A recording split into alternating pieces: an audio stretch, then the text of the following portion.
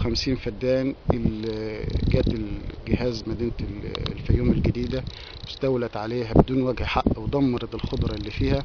كان بيستفيد منها أكتر من ألف شاب أو, أو يزيد عن ذلك. إلى الآن أنا بس عايز أسأل سؤال. مصير هؤلاء الشباب إيه هيشتغلوا؟ هيروحوا فين؟ هيجوا منين؟ يا ترى هيسافروا برضه ويروحوا برضه يغرقوا في البحر برضه زي اللي بنشوفهم ونسمع عنهم ولا هيقعدوا على القهاوي ولا هيشتغلوا بلطجية ولا هيسرقوا ولا هيدوروا برضه على فرص عمل تاني يستنوا برضه من الحكومة ولا هيعملوا إيه بالظبط؟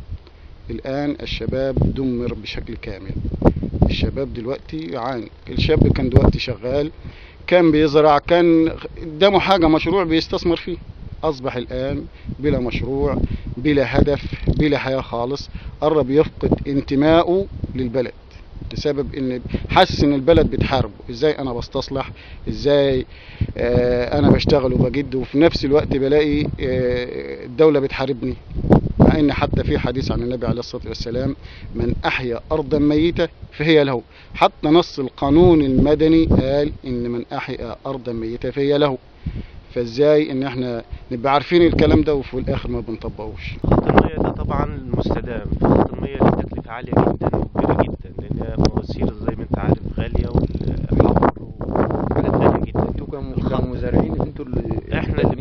كل حاجة. إحنا اللي عملنا الخط. المياه لل- آه الخط ده ده يكلف لوحده يجي أكتر من 400 ألف جنيه عشان تجيب م- مية وتعمل خط رئيسي يغذي كل آه الأرض هنا يكلف أكتر حوالي نص مليون جنيه. بدون مساعدة أي بدون أي الزراعة حد. أو الحكومة أو الري ولا في حق هو بس يسكن في حال ال- لكن بقى تكلفة كل فدان لوحده من تمهيد. شايف انت الأرض عالي وواطي وسبب سمات بلدي غير نتغلب على الملوحة محاليل كتيرة حاجات كتير جدا الفدان يكلف حوالي 30 ألف علشان نزرع ويزرع كام سنة كمان علشان الملوحة بتاعته تقل ويبدأ يدي إنتاج يعني أول كام سنة مفيش إنتاج.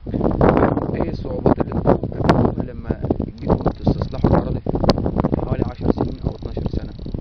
الصعوبات آه، طبيعة الأرض آه، عالي وواطي زي ما أنت شايف وخط مية مكلف جدا جدا ومرهق لأي حد علشان الواحد بيبيع اللي وراه واللي قدامه علشان يشتري.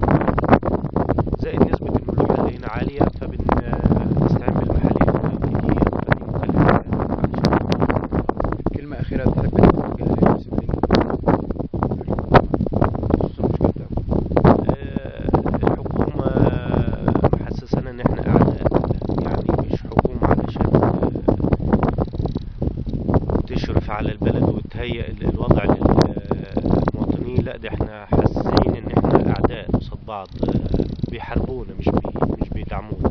المفروض المسؤولين ينزلوا يبصوا يشوفوا الناس يشوفوا الناس حالتها عاملة إزاي يشوفوا الناس تعبانة إزاي يشوفوا الناس قوي يساعدوها مش قوي مش حالتها قوي أكتر المسؤولين ان هم يعني إحنا دلوقتي وصلنا ان بنقول لهم يبصوا لنا بعين الرحمة والعطف يعني